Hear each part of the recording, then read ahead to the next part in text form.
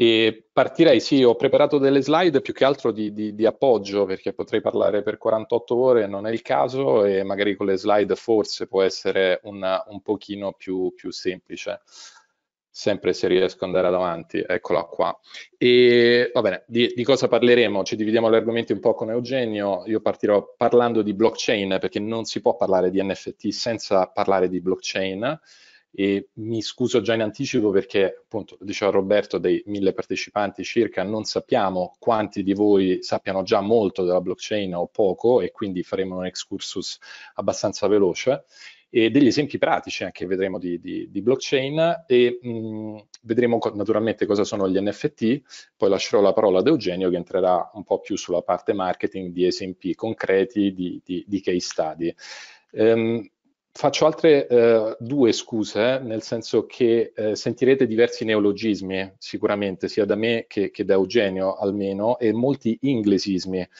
Non è che li vogliamo utilizzare per forza, anzi cerchiamo di, di spostarci sull'italiano, ma la blockchain è nata all'estero, si sta sviluppando tantissimo all'estero ormai da anni, gli NFT idem, e, e, quindi le parole sono quelle, trasformarle poi in italiano a volte diventa un po' maccheronico, a volte un po' difficile, in più ricordatevi che spesso faremo delle metafore, anche quando utilizziamo dei termini, utilizzeremo il termine di mintare, di minare, i coin e il wallet virtuale, in verità sono tutte metafore.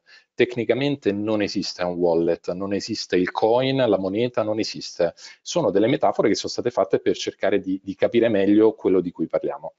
Dunque, vi ho detto che cominceremo parlando della blockchain, ma in verità parto dalla fine, come non si dovrebbe fare probabilmente, ma parto da, dall'NFT, solo una slide per dirvi un, un, po' come diceva Roberto prima, ehm, questo è il momento probabilmente in cui eh, nel mondo si è incominciato a ragionare, ma allora questi NFT forse sono qualcosa e sono qualcosa almeno economicamente. C'è un artista, eh, pseudonimo Beeple, ha battuto all'asta una sua opera, Christie's, quindi non l'ultima arrivata, ha battuto quest'opera all'asta e è stata venduta per 69 milioni di dollari nel maggio del 2021, okay? per il controvalore di 69 milioni di, di dollari.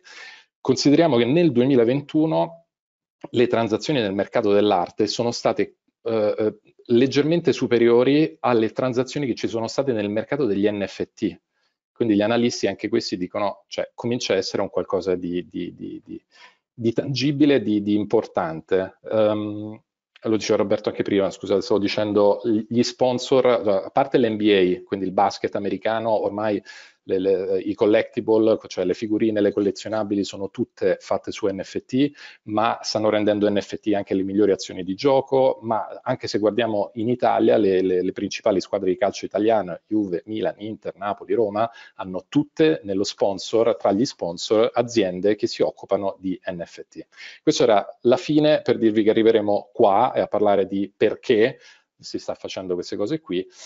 Ma parliamo della blockchain. Dunque, eh, da un po' di anni che eh, proviamo sempre a parlare di blockchain, è complesso ehm, perché è complesso spiegarlo in maniera abbastanza semplice. Proveremo a non andare troppo nei dettagli. Mi piace partire storicamente, ragionare anche storicamente perché questi pazzi o perché questo pazzo è partito facendo o ragionando che bisogno c'era della, della blockchain e dei bitcoin. Um, uno pseudonimo, non sappiamo se è una persona, se è un collettivo, se è un uomo, se è una donna, Satoshi Nakamoto, ormai l'avrete sentito in tante salse, nel 2008 viene fuori con un annuncio dicendo Bitcoin a peer-to-peer electronic cashless system, eh, dice, stiamo provando, lavoriamo per creare un nuovo paradigma. E siamo nel 2008, 2008 eh, crisi finanziaria del 2007-2008, so, il pubblico al quale parlo penso sarà particolarmente sensibile su questo, Lehman Brothers, e nella premessa Satoshi dice noi sul denaro diamo tanta fiducia, cioè ogni volta che abbiamo dei soldi in mano sul conto, eccetera, presuppone di avere tanta fiducia dietro mi riferisco al fatto che ci fidiamo che una banca centrale eh, non svaluti il denaro, no? non ci sia inflazione, perché 10 euro oggi devono valere 10 euro anche fra un anno, due anni, cinque anni, quando sappiamo che almeno in moltissimi casi così non è stato, non oso dire sempre, ma insomma più, più o meno così stiamo. Poi diamo fiducia delle banche, diamo fiducia delle banche commerciali e ci fidiamo del fatto che mantengano quei soldi che gli abbiamo affidato a volte non è andata in questo modo, Lehman Brothers per esempio, ma anche tanti altri casi. In più ci stiamo affidando a una banca, adesso faccio l'esempio, ho lavorato dieci anni in banca, non è che ce l'abbia particolarmente con le banche, anzi hanno eh, ricoperto e, tuttora ricoprono spesso dei ruoli fondamentali per l'economia, e, però l'esempio più pratico è con le banche, eh, gli affidiamo i nostri dati e certi che non verranno violati e non verranno dati a terzi. Così non è, non è stato alcune volte. E allora si inventano questa blockchain che è in verità un insieme di tecnologie, cioè quando è stata inventata non è che uh, hanno inventato una tecnologia, hanno, invent- hanno, messo insieme tutta una serie di tecnologie con delle genialate, almeno per me, insomma, creative e anche di come combinare le tecnologie ed è uscita un po' um, nel 2009, dal 3 gennaio 2009, 2009 sì, e nasce la blockchain. Definizioni di blockchain, ne trovate n online, uh, a me piace particolarmente, um, posso definirlo un pazzo fin finlandese, un tecnico della blockchain che si fa chiamare il Gandalf della blockchain, che è questo dottor Kier Finlow Bates, che dice la definizione semplicissima, minima, basica, che dice poco, però già incomincia a dire di che cos'è la blockchain è. La blockchain è un registro, registro di classe della scuola, che trascrive chi ha quanto di qualche cosa chi, nome degli alunni, quanto il voto in qualcosa, una materia. Ok, questa è la definizione super basica. Da qui mi perdonerete un pochettino, provo a entrare un pelino più nel tecnico. Dunque, ehm, le caratteristiche della blockchain. Alcune caratteristiche le dobbiamo prendere forse anche come atto di fede, ok? Però eh, entreremo nel dettaglio. Uno, la blockchain è aperta. Questo vuol dire che chiunque di noi collegati oggi potrebbe creare entrare dentro la blockchain di Bitcoin, poi vedremo ci sono diverse tipologie di, di blockchain, e eh, diventare parte integrante della, della blockchain e avere tutti i dati della blockchain e visualizzare tutti i dati della blockchain.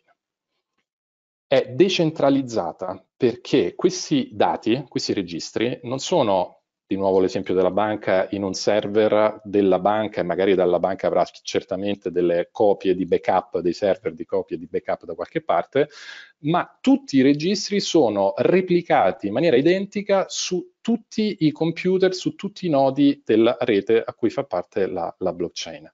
È permanente, perché prendiamolo anche questo più o meno come atto di fede, ma per degli algoritmi matematici dietro e per come è stata studiata la blockchain è immutabile oggi è immutabile.